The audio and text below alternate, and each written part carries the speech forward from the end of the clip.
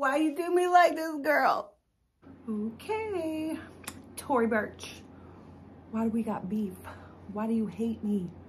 What's your problem, man? anyway, hi guys, I'm Tammy. I am back with a little review for you guys.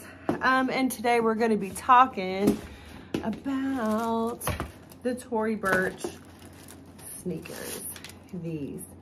They're the Lucky something or other. I'll have to like look again. I can't remember. Lucky running shoe. I can't remember something like that. Freaking so cute, right? Now I've had mine for months. They're a little scuffed. Um, here's the bottom of them. I purchased these, I mean, gotta be a good six months ago, something, I don't know. I caught them on sale.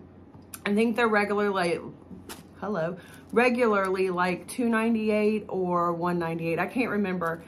Very expensive shoes.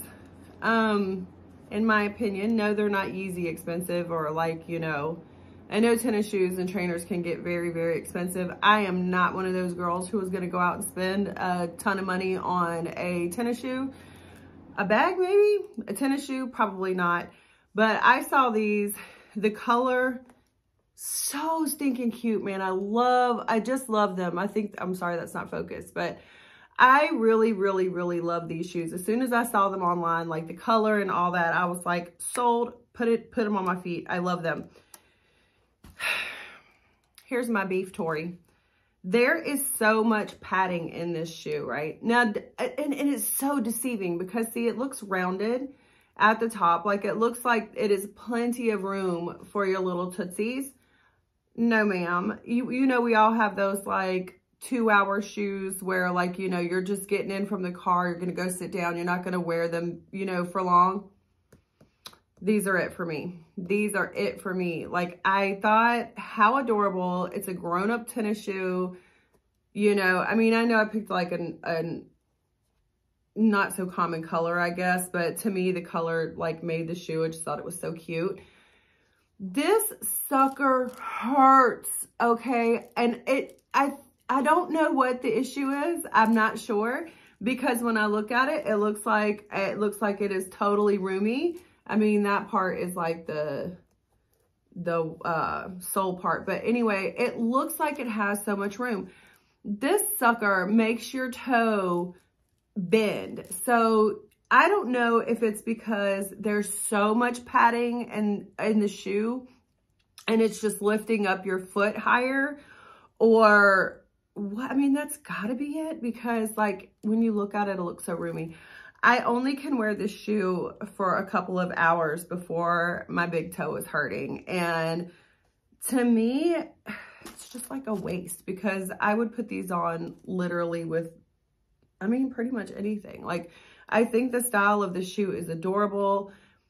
I think the shoe is cute. The color is cute. It comes with two different um, shoestrings that have like a white shoestring with it. Adorable box yeah, there's the shoestrings. Box is so cute. Like, I mean, it's adorable. Like, I was super excited to get them. I am just not super excited that my toe freaking hurts. And I feel like for that amount of money, my toe should not be hurting. Like, I, am sure I have a pair of, not Skechers. I don't have any Skechers. Uh, do I? I don't know. I don't think I have any Skechers. But anyway, I have cheaper shoes that are way more comfortable than these shoes. And that is my beef, Tory. Why do you want to hurt my toe? Figure it out. Anyway, maybe if your toes already go like that, you'll be in good shape. Mine do not. So anyway, take that review for what it's worth. Love you guys. Side note, I'm not a very good reviewer. I wear a normal, normally I wear a six and a half, seven. I got those in a seven. So in my opinion, they should fit and not hurt my foot. So Tory, if you're listening, take some of the padding out. Love you. One more thing. They're 278 and they're the good luck trainer. So there you go. Review finished.